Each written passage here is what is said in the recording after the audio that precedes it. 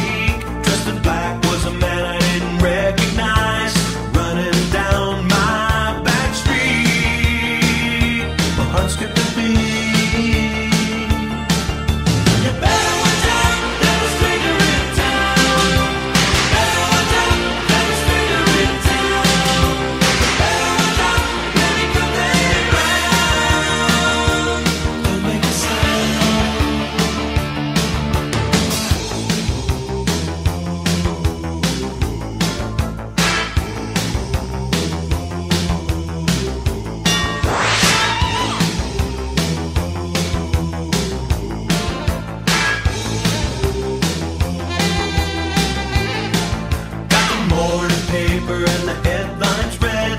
Danger to the Queen. Buckingham Palace better tighten things up. The son of a bitch is on the corner just doing their job, acting like nothing's new. Scotland Yard still looking for.